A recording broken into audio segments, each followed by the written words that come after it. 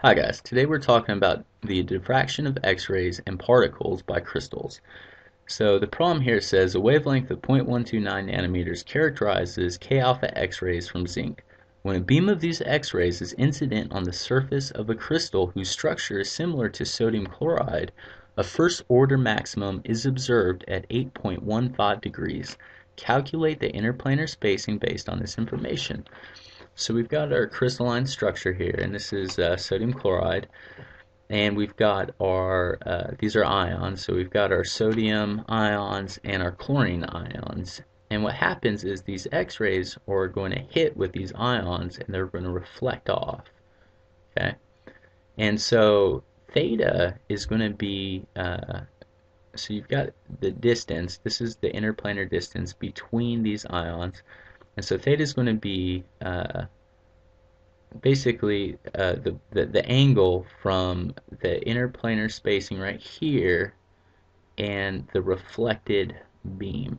Okay, so anyways, and of course this is also theta if you were to take the interplanar spacing right here and then we were to draw uh, a line through here which would actually uh, hit it, it should actually go to right here, okay? Um, that would be theta, right? So anyways, so the equation we're going to be using is uh, 2d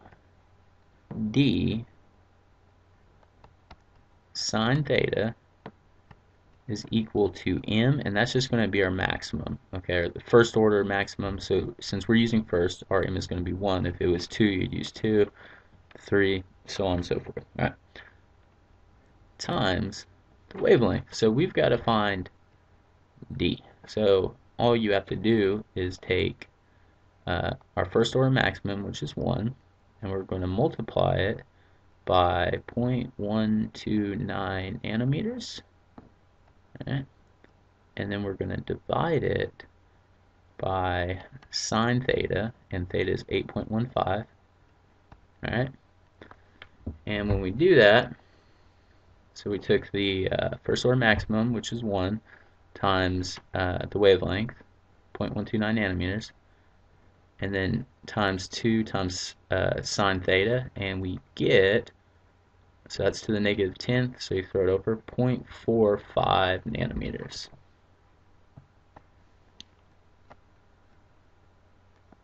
So 0.455 nanometers. Alright, so that is this, which is uh, from here to here, and that is D. Okay, so that's pretty simple. Now, let's say that uh, let's say that we did not have theta, but we had D, the interplanar spacing. So let's say that.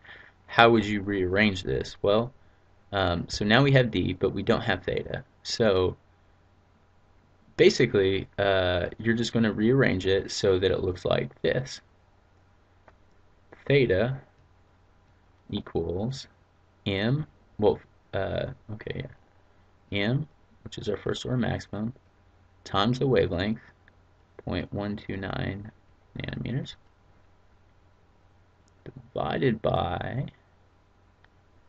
are uh, 2D, so let's say, so the distance was that, so we take 2 times 0.455 nanometers, right?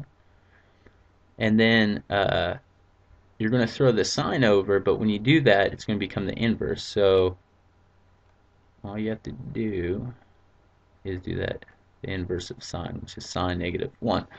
And when we do that, sine negative 1 times 1 uh, times our wavelength divided by 2 times the distance is going to give us theta, 8.15, which is what we had. Alright, uh, so do that. Theta equals 8.15. I was just showing you they asked for something else. Alright, and then down here I just drew like a little picture of what's going on. You've got your x-rays. It's going through uh, this little slit. Um, and then it's going to go through this crystal, which is which is this. So the crystal is that whole structure, and then what's going to happen is it's going to be uh, you're going to have these x-rays that bounce off and then they're going to be shot out here in like a pattern okay and if you were to look at this pattern uh, thinking this is basically what it would look like okay? And uh, and that is photographic film. Anyways easy problem